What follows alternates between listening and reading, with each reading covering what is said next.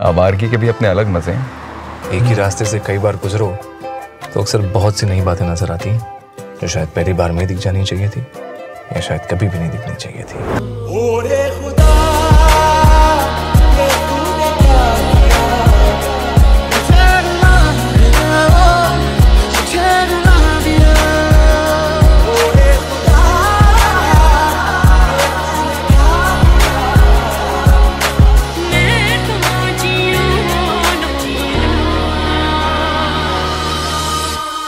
ये रंजो गम की स्याही जो दिल पे छाई है, तेरी नज़र की शुआओं में खो भी सकती थी।